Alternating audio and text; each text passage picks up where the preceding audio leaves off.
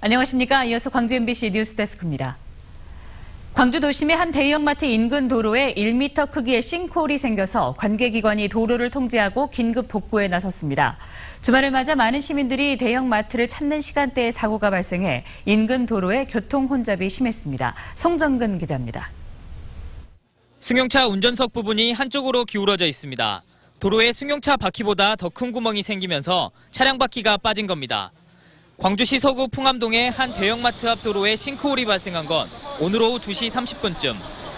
1m 정도 크기의 구멍 아래에는 이렇게 사람 한 명이 들어갈 정도의 공간이 생겼습니다. 갑자기 차가 왜- 운전석 쪽으로 치우치면서 바퀴가 공연전하기 때문에 나는 바퀴가 빠진 줄 알았더니 차에서 내려서 주시해 버리니까 이렇게 싱크홀이 생긴 것입니다. 다행히 인명피해는 없었지만 주말을 맞아 대형마트를 찾은 시민들이 많은 시간대에 사고가 발생해 인근 도로에 교통 혼잡이 빚어졌습니다. 서구청은 도로 아래를 지나는 오수관의 이음새가 벌어지면서 그 사이로 흙이 빠져 도로 침하 현상이 발생한 것으로 보고 있습니다.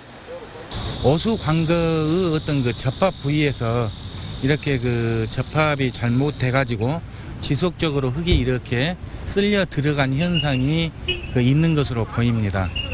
서구청은 싱크홀이 발생한 도로 주변을 파내 정확한 원인을 조사하는 한편 벌어진 오수관 사이를 수리하는 긴급 복구 작업에 나섰습니다. MBC 뉴스 송정근입니다.